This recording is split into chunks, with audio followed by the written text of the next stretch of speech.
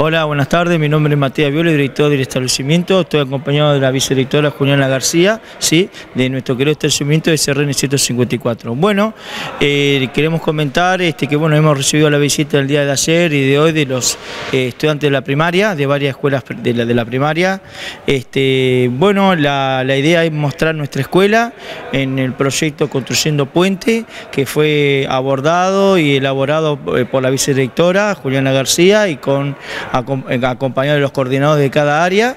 y bueno, trabajaron muy bien los estudiantes como también los profesores. Y bueno, hemos recibido la visita de los estudiantes de la primaria para mostrar nuestra escuela y para que el próximo año ¿sí? puedan elegir nuestro establecimiento. Eh, tenemos toda la planta de abajo de la institución con los distintos stands que cada uno representa un área de conocimiento y lo importante y lo bueno de esto es que son nuestros estudiantes lo que les explican a los estudiantes de séptimo qué espacios curriculares van a tener si vienen a nuestra escuela. Tenemos el stand de científica, de sociales, el de matemáticas, segundas lenguas y lenguas y artística.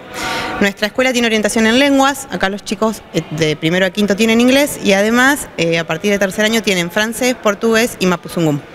Nuestra escuela es re joven, hace seis años nada más que está y es una de las escuelas que más crece justamente porque estamos en un barrio que también crece.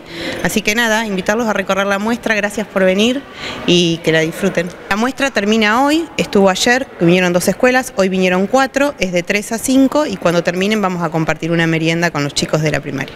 Ahora mismo que digamos estamos abiertos a la, la comunidad educativa de 154 está abierta a la comunidad ¿sí? no solamente al barrio, a nuestro querido barrio San Martín, sino a la comunidad de Viedma y Patagones.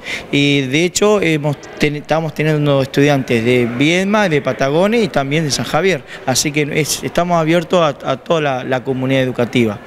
Y bueno, y le quiero agradecer mucho su presencia, ¿sí? muchas gracias por venir y siempre bueno, trabajando eh, en equipo con mi colega Juliana García y en equipo con los profesores, los, PCA, eh, los familiares, los estudiantes. Nuestra idea siempre es construir en equipo una mejor sociedad más justa y más equitativa.